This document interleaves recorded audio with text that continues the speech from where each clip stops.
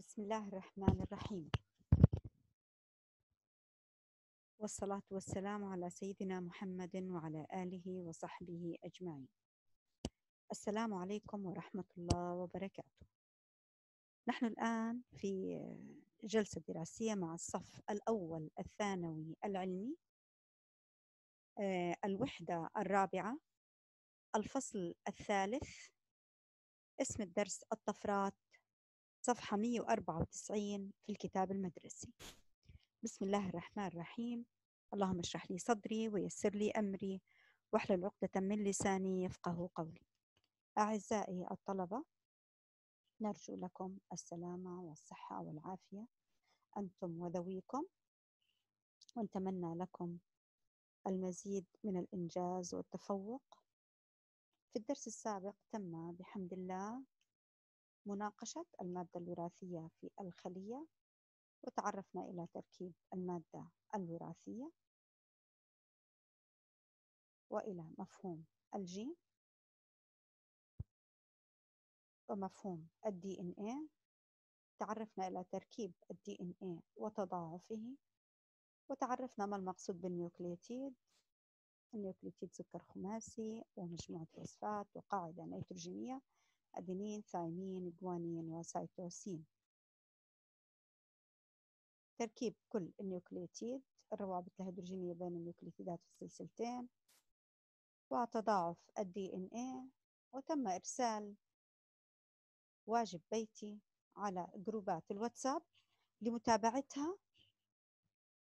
وسنبعث لكم على جروب الواتساب آلية متابعة الواجب في حينه. بسم الله الرحمن الرحيم. نبدأ الآن بتعريف آه، الطفرات والتعرف إلى الطفرات سابقا تحدثنا أن عملية تضاعف ال DNA سينتج عنها جزيئان متماثلان تماما ومماثلان تماما للجزيء الأصلي. ولكن ولكن ماذا سيحدث لو حدث خطأ في آه، هذه المعلومات. الآن كما تعلمت سابقا المعلومات الوراثية تحمل بترتيب القواعد النيتروجينية ترتيب ثابت للمعلومة. كل معلومة وراثية لها ترتيب ثابت للمعلومة. وبالتالي جزيئين ال DNA الناتجتين الناتجين يجب أن تكون المعلومات الوراثية فيها وترتيب القواعد النيتروجينية فيهما نفس الترتيب ونفس المعلومات ولكن الخطأ قد يحدث في أثناء عملية التضاعف. لماذا يحدث الخطأ؟ قد يحدث بسبب العدد الهائل من النيوكليتيدات التي يتعامل معها الأنزيم 10 قوة 9 كذا في أثناء عملية التضاعف. الأخطاء التي قد تحدث. ممكن عفوا ممكن يحدث حذف للنيوكليتيدات ممكن تضاف النيوكليتيدات ممكن تستبدل النيوكليتيدات ممكن تنقل إلى غير مكانها. بالتفصيل هذه التغيرات وهذه الطفرات آه، وهذه الأخطاء أستعرف عليها في الصف الثاني الثانوي العلمي. الآن سنأخذ مثال بسيط جدا على الحذف الإضافة والاستبدال. لو افترضنا أن الترتيب الصحيح للقواعد النيتروجينية في المادة الوراثية هو جي اي سي ثلاثة تي ورا بعض سي اي جي وحصل عندنا خطأ في أثناء التضاعف فكان ال DNA الناتج في الحالة الأولى. سي سي بدل من سي راح نتبع مع كل آه، نيوكليتيد النيوكليتيد الأول C وفي الناتج C يجب أن يكون النيوكليتيد الثاني C والثاني أيضا في الناتج C يجب أن يكون للنيوكليوتيد الثالث C ولكن هنا خطأ. مشار إليه باللون الأحمر. بدلا من C مش لاقية C نترك ال C نتوجه لل A A. C A G A C ثلاثة T ورا بعض C A G. إذا الفرق بين المفروض ينتج والذي نتج فعلا إنه في عندي هون قبل ال A المشار إليها باللون الأحمر في عندنا C مفقودة. وهذه تسمى طفرة الحذف تحذف النيوكليتيدات الآن نشوف هون في خلصنا الخطأ الأول نيجي للخطأ الثاني. سي سي سي سي سي سي لغاية الآن الأمور زي ما هي. A A كما هي. خلينا نعد آه، قبل أن نكمل ترتيب النيوكليتيدات نعد. كم آه، نيوكليتيد لازم يكون في عنا؟ ثلاثة ستة تسعة 12 15 نشوف هون. ثلاثة ستة تسعة 12 14 إذا في عنا حذف. نيجي للثاني. المفروض ينتج عنا هذا الأصلي. نشوف شو نتج عنا. ثلاثة هي ستة هي تسعة 12 15 16 إذا في عندي أنا نيوكليتيد زيادة. والنيوكليتيد الزيادة نمشي واحد واحد حتى نشوف. هاي ال C C C هاي ثلاثة ما فيهم مشكلة.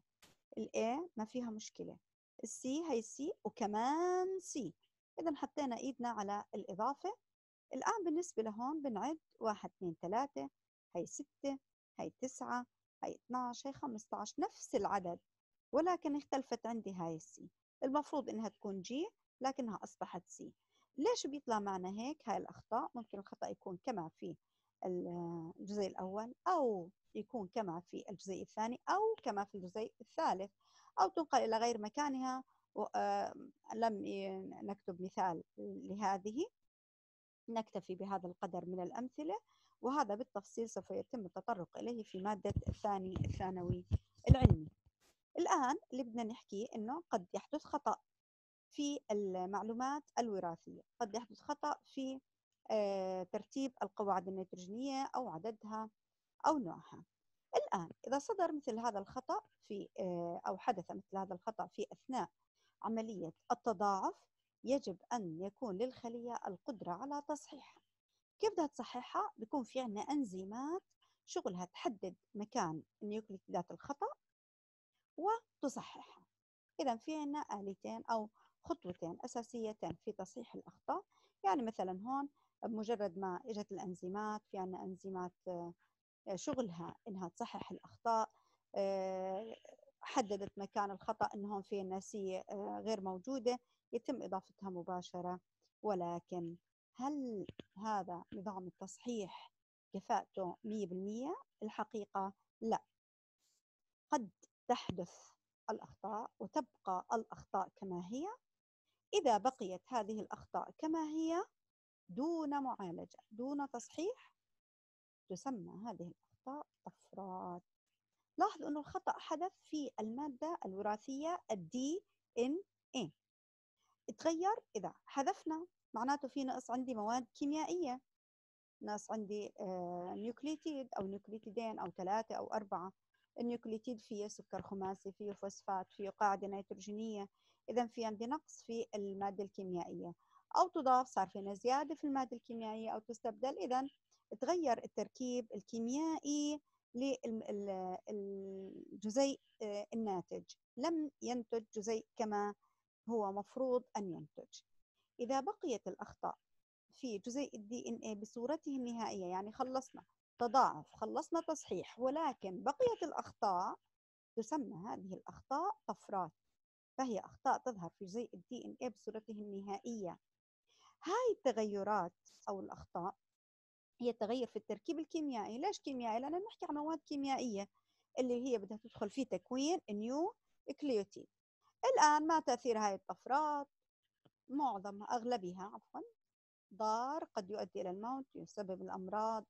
ورح ناخذ مثال على هذا المرض آه، على هاي الطفرات وفي صف التوجيه رح ناخذ أمثلة أكثر على هذه الطفرات. القليل من الطفرات قد يكون مفيد يساعد على التكيف في الظروف البيئية الجديدة وهذا ما رح نناقشه الآن ولا رح نحكي فيه لكنه أثر يمكن أن ينتج. الآن في البداية حكينا أنه الأخطاء نرجع للبداية تحدث بسبب العدد الهائل من النيوكليتيدات التي يتعامل معها الأنزيم في أثناء عملية التضاعف. الآن في أثناء عملية التضاعف تحدث هذه الأخطاء. ولكن هل هذا السبب الوحيد لظهور الطفرات بالتأكيد لا. في أسباب أخرى وهاي الأسباب الأخرى إن شاء الله رح ناخذ جزء منها في الصف التوجيهي. هيك بنكون أنهينا الجزء الأول من الفصل اللي هو تركيب المادة الوراثية وتضاعف الدي ان والأخطاء في أثناء التضاعف. ماذا تسمى هذه الأخطاء؟ ما أهمية هذه الأخطاء؟ ما فائدتها؟ ما ضررها؟ وما تعريف الطفرة؟ بحب أنه تنتبهوا لتعريف الطفرة بحب تنتبهوا لهذا الدرس انتباه جيد لأنه سيكون هناك فصل كامل في الصف التوجيهي عن الطفرات سواء كانت الطفرات يعني على أكثر من مستوى رح تتناقش الطفرات. فيفضل إنه تركزوا على الطفرات انتبهوا لها منيح وتفهموها تماما. واذا عندكم أي سؤال بتحبوا تسألوه عن الطفرات في جروبات على الواتساب مع المعلمين في جروبات لكل صف في group لكل صف من مدرسة البنات معي وفي group لكل صف من مدرسة البنين مع ست جمانة. تقدروا ترجعوا لست جمانة أو إلي تسألوا أي سؤال بدكم إياه عن الطفرات ما تمروا عن هذا الدرس بدون ما أنتم تكونوا متابعين معه تماما.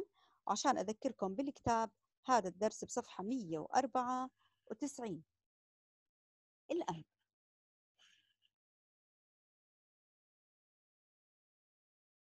الحمض النووي الريبوزي RNA طبعا إحنا لغاية الآن كل كلامنا كان عن ال DNA الآن اي والدي إن اي الفرق بينهم. إن اي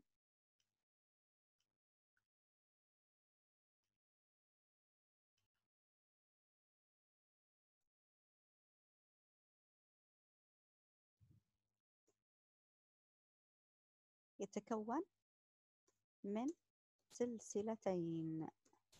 من النيو كليو تيدات. بينما ال RNA يتكون من سلسلة واحدة من النيو كليو النيوكليتيدات الآن النيوكليتيدات يلي بتلعب أو تدخل في تركيب ال D A هي النيوكليتيد أدينين سيتوسين جوانين وثايمين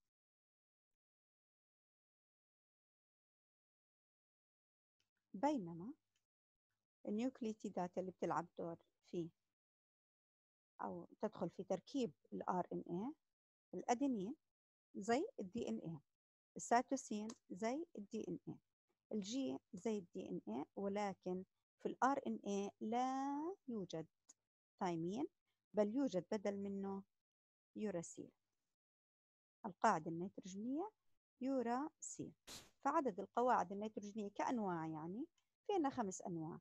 أدينين ويستخدم في كل من ال DNA وال RNA سيتوسين يستخدم في تكوين النيوكليتيدات التي تكون آه، ال DNA وتكون ال RNA الجوانين يدخل في تركيب النيوكليتيدات التي تكون ال DNA وال RNA الثايمين يدخل في تركيب النيوكليتيدات التي تكون ال DNA بينما اليوراسيل يدخل في تكوين النيوكليتيدات التي تكون ان اي ال DNA حكينا فيه حكينا سلسلتين نيوكليتيدات ال RNA الآن بدنا نحكي عنه ويوجد ثلاث أنواع لل RNA ال RNA اسمه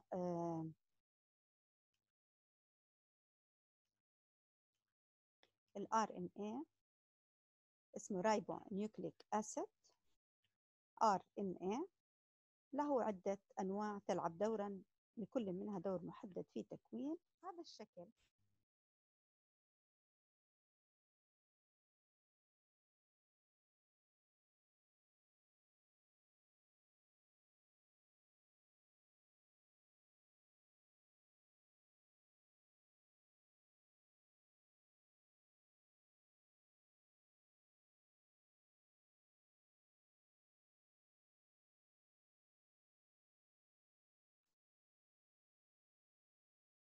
هذا الشكل يبين لنا الخلية.